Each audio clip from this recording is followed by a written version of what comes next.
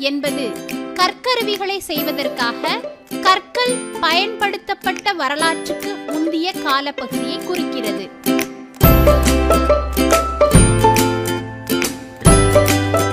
கற்காலம் மூன்று பகுதிகளாக வகுக்கப்படுகிறது. அவை பழைய கற்காலம் இடைக்கற்காலம் புதிய கற்காலம்.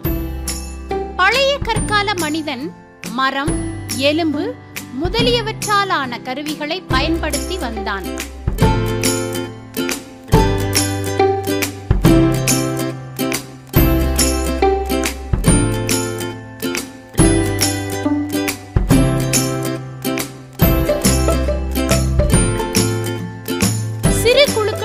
இயங்கிய பழைய கற்கால மனிதன் தாவரங்களில் இருந்து உணவை சேகரிப்பதற்கும் விலங்குகளை வேட்டையாடுவதற்கும் இக்கருவிகளை பயன்படுத்தினான்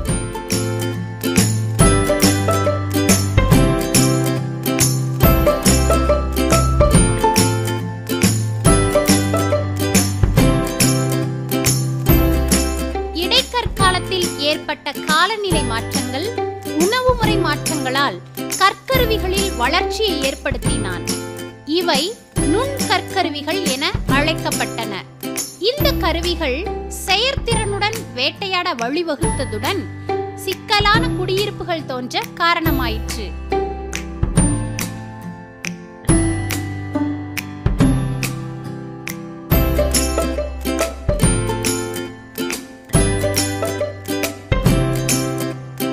புதிய கற்காலத்தில் பயிர்களை அறுவடை செய்வதற்கும் பதப்படுத்துவதற்கும் தேவை ஏற்பட்டதால் அரைப்பதற்கும் தீட்டுவதற்குமான கற்கருவிகள் பரவலாக பயன்பாட்டுக்கு வந்தன.